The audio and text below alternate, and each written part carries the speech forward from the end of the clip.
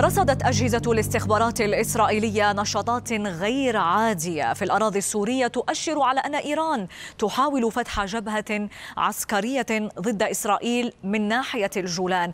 هذه المعطيات تحدثت عنها قناة الآن الرابعة عشرة الإسرائيلية.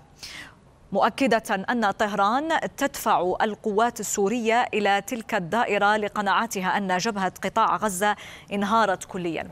وعلى إثر ذلك قالت القناة إن لواء الجبال التابع للجيش الإسرائيلي باشر مهمات جديدة بتقويض التهديدات القادمة من الجبهة السورية.